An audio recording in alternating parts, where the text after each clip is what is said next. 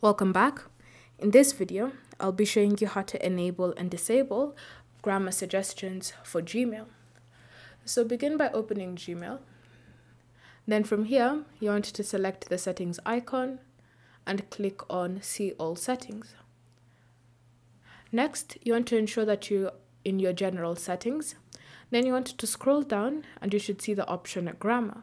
So currently my grammar suggestions are turned on, but if you want to disable them, you can just click on off and then you want to scroll down and select save changes. So that's how you can disable your grammar suggestions. But if you want to turn them on, go back to your general settings and select grammar suggestions on and then save changes. Thank you for watching. If you have any questions or comments, leave them down below and we'll get back to you.